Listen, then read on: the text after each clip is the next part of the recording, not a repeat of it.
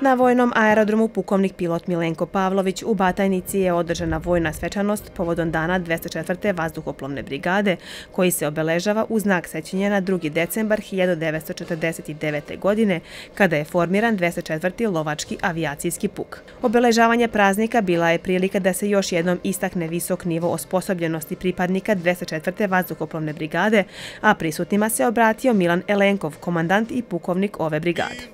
Obeležavajući ovaj dan, mi pripadnici 204. vazduhoplovne brigade, sledbenici tradicija herojskog šestog lovačkog puka, podsjećamo se danas svog bogatog istorijskog nasledđa i sumiramo rezultate ovogodišnjeg rada. I ove godine smo uz veliki napor i zalaganje svih pripadnika jedinice održali operativne sposobnosti, a u nekim segmentima ih i napredili.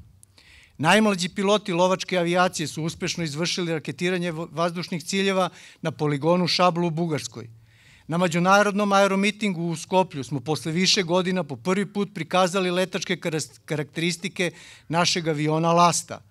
Helikopterom HT-49 smo učestvovali u humanitarnoj akciji u Sloveniji. Naši piloti i tehničari su uspešno završili obuku za avion Kaza 295 u Kraljevini Španiji. Logistički smo prihvatili i podržali obslužili više vrsta stranih vazduhoplova na našem aerodromu, od dana 124 do američkog KC 135.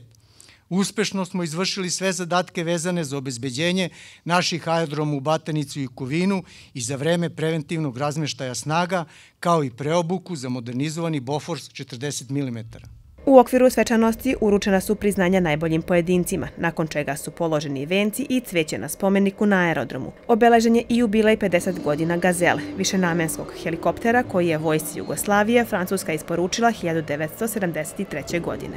Pored svega, naravno što je možda i najznačajnije da, da napomenemo, jeste da smo na e, spomeniku Niko nije rekao neću, položili vence e, u čast e, poginulim pripadnicima ove jedinice. Pored proslave dana 204.